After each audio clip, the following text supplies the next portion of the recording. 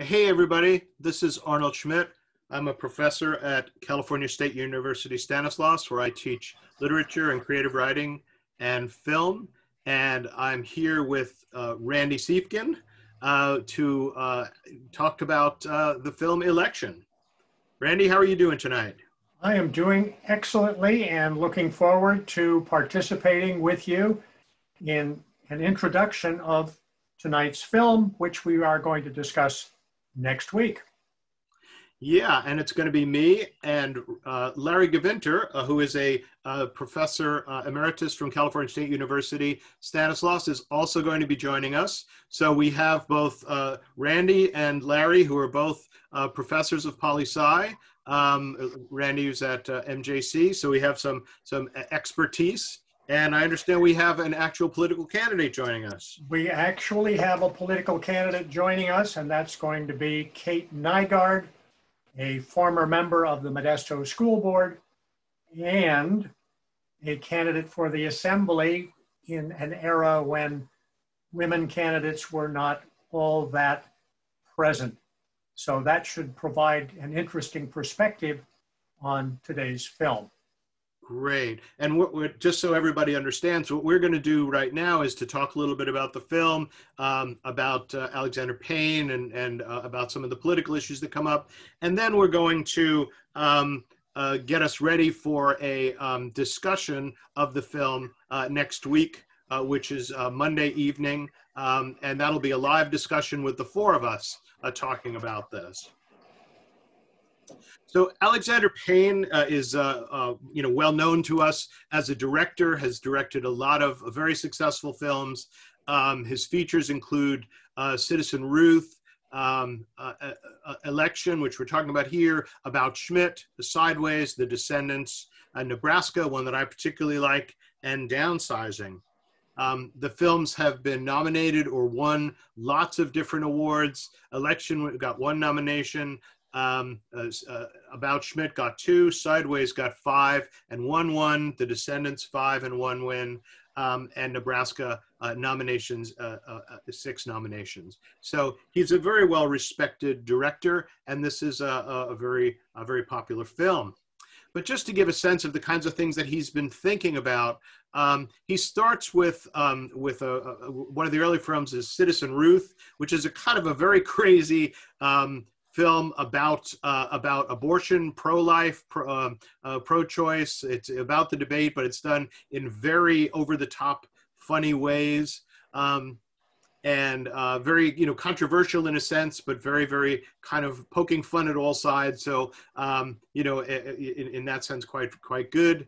Um, about Schmidt, which is uh, about a Jack Nicholson character who uh, retires and realizes his life is kind of a mess. Um, he had questions about relationships with his wife, with his family. It has Kathy Bates in it, and she's fantastic. Um, she was nominated. Uh, both of them were nominated for um, for um, best actor, um, and she for best uh, supporting actress. Um, and other other they got other um, accolades as well. And Payne, of course, um, gets uh, gets uh, uh, nominated as well. So quite a fun film. Again, very kind of crazy and over the top. Um, one of those dystopian families from hell uh, films. Um, Sideways is a, um, a, kind of a slightly different. Uh, it's uh, Paul Giamatti um, and Thomas Haden Church, and you know he, that he's um, he's his friend is getting married, and so they decide to do one last, um, you know, one last kind of outing. Um, and uh, they go to the wine country, and all kinds of things happen. In some ways, it's a it's it's a a film about honesty and honesty in relationships and what happens when you're dishonest in relationships. Um, so kind of interesting in in that way. Um, it also was um, you know was uh, well uh, well received um, uh, in in terms of, uh, of Academy Awards, it received a series of nominations: uh, Best Picture, Best Director, Best Supporting, and it it won uh, Best Adapted Screenplay. So quite quite good. Um, the Descendants, which is a, a story about again a family a family drama or melodrama Uh, the family is, um, a, you know, a group of a group of siblings. One of whom, George Clooney, has managed his money well. The others have not. The family is custodian to a, a large piece of real estate, and then everybody wants to sell the, the land, but he doesn't. And while this happens, his wife goes into coma, and there's family stuff with his kids, and all kinds of crazy things. His wife's having an affair. It's all uh, really kind of uh, kind of wild. Um, it also um, it was nominated for Best Picture, Best Director. It won Best uh, Adapted Screenplay. Uh, so quite quite good, and Clooney is is is is good in this. Um, Nebraska uh, with um, Bruce Dern and Stacy Keach. Uh, Dern receives this letter that we've all received saying, You have won $10 million, you know, and of course on the bottom in fine print it says, If you have the winning lumber, but he doesn't believe it. And he's going to go to the place and get that money. And of course, his son tells him, You know, you can't do this. And it turns into a road trip. Again, it's a family drama and it's really, uh, really quite good um, nominated for Best Director, uh, Best Actor, Best Picture, Best Original Screenplay. Uh, cinematography is fantastic. It's shot in black and white. So very, very interesting. Um, downsizing, um, the most recent film, uh, is about um, people being shrunk in order to uh, save money. Uh, and um, it's it, it, this one has in a certain sense a different kind of a social conscience than some of the other films um, because one of the things that happens when uh, when Matt Damon and, is shrunk is he enters a world of kind of a middle class world of luxury, but also realizes that there's a dark world out there, a world of poverty, and he's trying to figure out what he's supposed to do, which which how how can he make meaning uh, out of his life? How which world can he be meaningful in? So it, it has a um, a little bit more um, substance in that sense in terms of social uh, in terms of social issues. Um, one of the things that um, that uh, Payne talks about and the critics talk about with him, and, and, and this comes up in um, in election as well as the difference between ethics and morality. Uh, but his films often have this idea of how do we deal with ethics? How do we deal with um, how do how do we live a good life? Um, and one of the quotes that I liked uh, from a recent uh, book that I read of, about him talks about, he says, the characters are not bad. He says they're not good and they do bad things, but they don't do them repeatedly. So, in other words, it's somebody who gets confused, gets into a situation, and does something that is ethically problematic and maybe even criminal. It's wrong, but it's not their habit. They don't always do this. And I thought that was really kind of interesting because a lot of times we think about characters as either good or bad. And he is at least, you know, trying, he says, to, ex- to explore characters who are um, making that, you know, in that kind of stuck position. I'm a good person, but I did this bad thing. What do I do now? Um, this was um, a downsizing was nominated for um, a series of art director awards, Critics' Choice Awards. Uh, again, very, very well received. Um, so tonight we're going to talk about election, and I'm going to turn this over to Randy. And uh, if we can make this work, uh, I am going to chat about the film, which hopefully you will see between now and our call-in discussion show next Monday night, the night before the election. Yes, and here we go.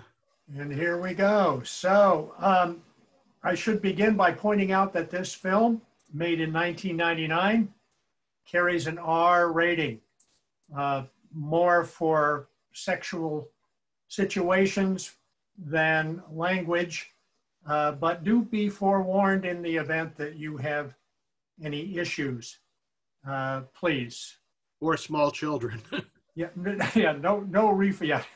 yeah. Children and small animals are deeply cautioned, although Good. if you're Borat, perhaps this warning is superfluous.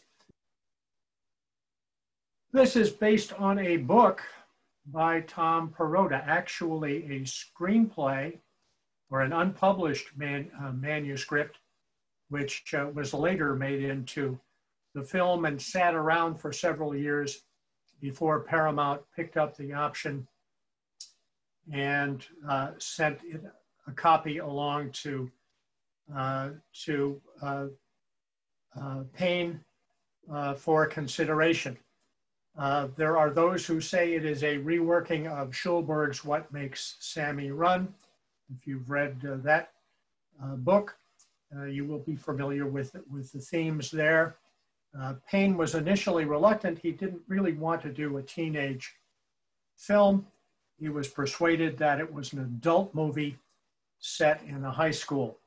Uh, and, and, in fact, the high school that he wanted to, that he originally wanted to shoot the film in, had apparently read the script and said, not in my backyard. So he put the, the production across the county line to a high school that was more receptive.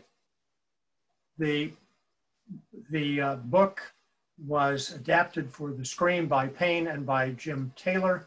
And as Arnold has pointed out, uh, received an Oscar nomination for uh, Best Adapted Screenplay and in fact won it in that year. This was not an easy film for Paramount uh, and MTV, which was involved in the production because of the subject matter, uh, which was set in a high school. The Paramount marketers said, look, this film is called Election. That's strike one against it. And number two, the subject matter is set in a high school strike two. But eventually they were persuaded. Um, if you read the book, you will discover that the original ending is quite different from that of the film. You may see the original ending of the film if you go to YouTube, uh, which was run by the test audience and didn't receive uh, an enthusiastic reception, so was reshot, uh, inserting the Payne and Taylor ending that you see uh, when you look at, uh, at the film. But do go back and check and see uh, the original ending at your leisure. So the cast of this film, uh, Mr. M, played by Matthew Broderick, receiving his Outstanding Teacher Award. Notice the apple on this award. Uh, there are some reviews that point out the religious connection of the apple to uh, a number of the scenarios in today's film. Uh, actually, Paramount wanted Tom Hanks or Tom Cruise in the role of Mr. M. Uh, a mistake, I think, um, thinking about both those actors, at least in a contemporary context, they would have been wrong. And probably an unpleasant experience for them. But Matthew Broderick, who played in Ferris Bueller about a dozen years before, uh, was a perfect fit. And some people, harking back to that film, call this film Ferris Bueller Never Gets a Day Off or Ferris Bueller meets his match with Tracy Flick, played by Reese, by Reese Witherspoon, uh, who'd appeared before this film, which is considered to be a breakout film for her in several other productions, most notably the adult film Freeway a couple of years before. Uh, she read the script. Uh, she she is said to have said that after reading the script, she would have rather played Tammy than Tracy. She said that after playing Tracy Flick in this film, she had a very difficult time obtaining additional parts uh, because she was portrayed as such a shrew. And she said, people thought I was crazy, angry, and controlling and strange. And there are those, this is a theme we might pursue in the post-film discussion, uh, of parallels between Tracy Flick, portrayed by Witherspoon, and Hillary Clinton, the, 19, the 2016 Democratic presidential candidate. Breakout film for Paul Metzler who had never appeared in a film before. Uh, he did have experience in high school plays and community theater. Uh, he initially turned down the role uh, of Paul Metzler, uh, Metzler, uh, because of a certain scene which he thought would upset his grandmother. Payne told him, Don't worry, just do the movie, it will be fine. And Sister Tammy Metzler, uh, played by Jessica Campbell, uh, again, uh, someone with no movie experience, but did have considerable experience in community theater. She wasn't the original Tammy Metzler candidate. She, uh, Thora Birch was originally scheduled to play this role, but left after three days over creative differences with Payne. And again, she'd never acted in a movie before. Uh, she is kind of the Ross Perot uh, of the election scenario.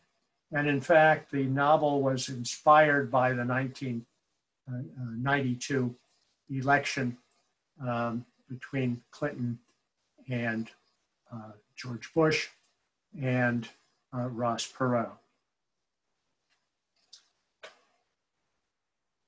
Additional cast members, uh, I'm not going to talk much about them, although I did, uh, I was interested in the janitor in this film who plays himself. Uh, he was reluctant, according to Payne, he was reluctant to take on that role, but was convinced by the six pack provided by Payne and the crew. So you might you might watch for him. He doesn't have. I think he has more facial expressions than lines in the film. Also, lots of high school students from the local high schools. And if you look closely, I didn't notice this the first time through, but uh, it was mentioned in some subsequent reviews. Uh, there are quite a few adults in that high school audience. You'll notice lots of beards on uh, male students in the crowd probably not something you would see in 1999. Reactions to the film. Uh, it wasn't a blockbuster. It made 14.9, 15 million dollars at the box office. It cost 9 million. So it made some money, but not an enormous amount. Perhaps it was the title election uh, or the R rating. Uh, who knows? got generally good reviews, uh, eight, uh, 92% in Rotten Tomatoes. Uh, here you see a couple of comments uh, from uh, reviewers. Uh, rarely a negative review in the bunch. Um, strongly, strong cautions from a number of parents groups, but nobody outright saying, don't go see this movie, or relatively few people with that opinion. So as you're watching today's film, and Larry will probably weigh in on some of these themes and others, could this film be made today? Is Mr. M a hero in this movie? Is Tracy a heroine? Are there any heroes? Are there any heroines? Do women candidates need to become a little bit Tracy in their approach? You might think about that in the context of the 2016 election and the election on November 3rd. Does the film ever resolve the difference between ethics and morals? And what does the film say about elections and democracy? Uh, something that Larry is going to treat in his introduction in a more detailed fashion.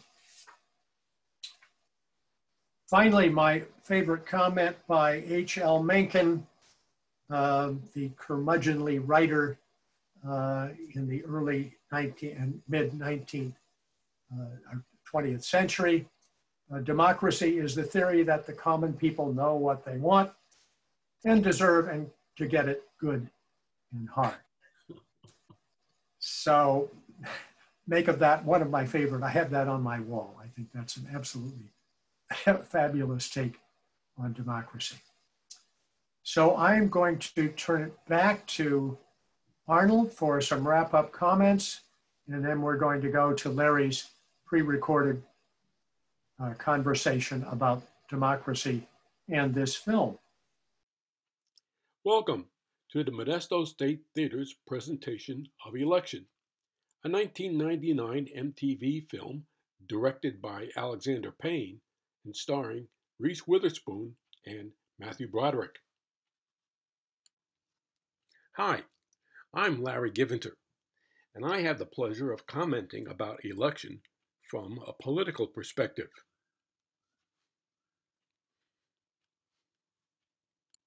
Let's start by asking what's the point of an election? An election is presented as the fundamental expression of democracy. And what's a democracy? Well, in political science terms, a democracy is government by the people, directly or indirectly, with free, fair, and frequent elections.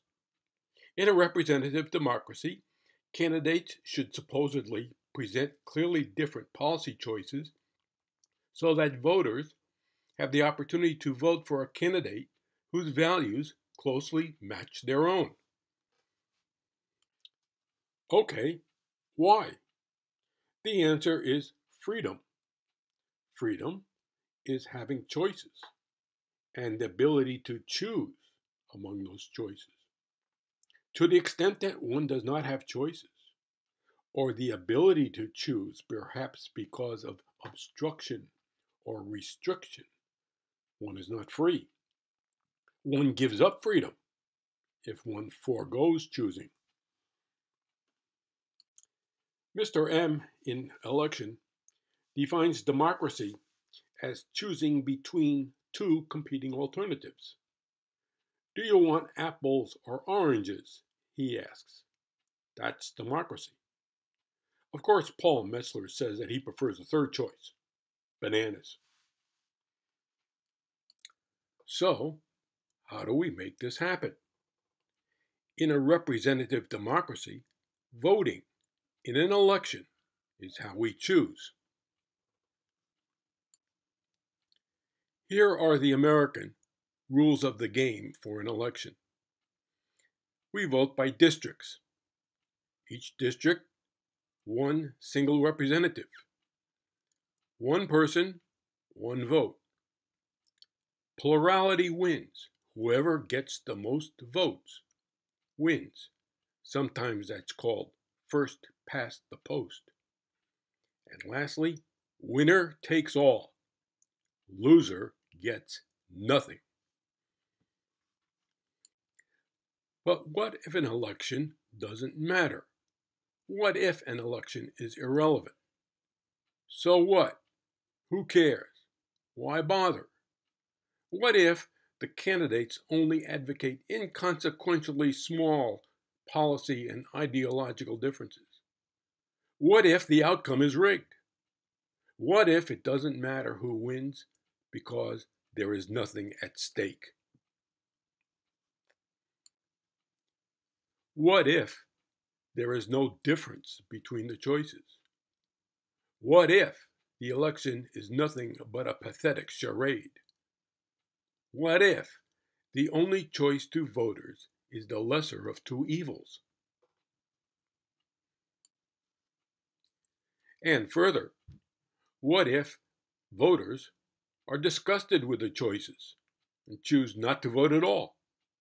Or what if an individual's vote, only one among hundreds or thousands or millions, doesn't matter? Or what if no choice gets a majority?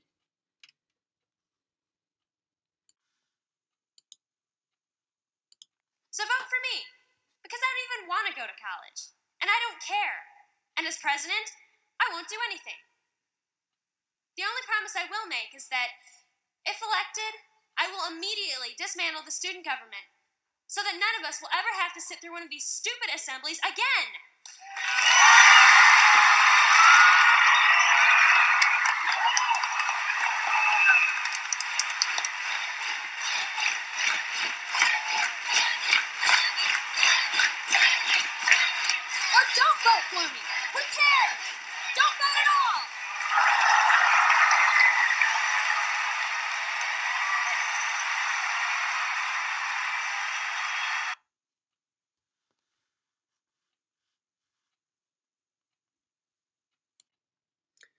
Mr. M counts the ballots. Tracy Flick wins by a single vote, 257 to Paul Metzler's 256. Mr. M, disliking Tracy Flick, probably remembers the political adage the people who cast the votes don't decide an election, the people who count the votes do. Here's what happened. On the first count, Tracy Flick wins by 257 to Paul Metzler's 256. Tammy Metzler was disqualified, but she would have won by a plurality had she not been disqualified. Ironically, Paul Metzler would have won on the first count if he had not voted for Tracy Flick. Mr. M decides to destroy two of Tracy Flick's ballots, reducing the voter turnout from 803 to 801 and giving Paul Metzler the win by 256 to 255. But maybe we shouldn't be so cynical. Maybe in a strong, functioning democracy, competing factions compromise extreme policy and ideological positions well before the election as they seek a voting majority. Even though the candidates proclaim their differences, they position themselves to appeal to the broadest range of public opinion. To most voters, each candidate then presents a not ideal, but nevertheless acceptable, middle of the road compromise. They are perceived as Tweedledum and Tweedledee, marginally different, and equally imperfect. So, in the end, election leaves us with these questions Do elections matter? Does winning matter? And what is winning anyway? Anyway. Thank you. This is Larry Giventer. Okay, well, thank you, uh, Larry, for all this really good information. And we invite you to a, a, election eve party. We hope you'll come and enjoy yourself, uh, hear some good ideas, and talk to us about the films and about your ideas about uh, that it raises about elections and democracy and, and all these kind of good things. We invite you to uh, come back and join us for a, a live call-in uh, program on Monday evening uh, November 2nd. Call in with your questions or submit your questions in advance. Uh, we will be joined by Kate Nyegaard, uh, who will provide some perspective uh, on woman, women's candidates. Uh, and she brings a wealth of political experience as a political activist, two-term member of the Modesto School Board, and candidate for the Assembly in the 1980s when female candidates were really very rare. And she will share some of her experiences as a woman candidate competing in the arena of men. So I even have proof here, candidate among my vast collection of political memorabilia. So please join us, submit your questions in advance. If you uh, aren't registered for the class, you can still do it. Uh, don't forget to go out and take a look at the film. Our discussion won't mean much unless you have seen it.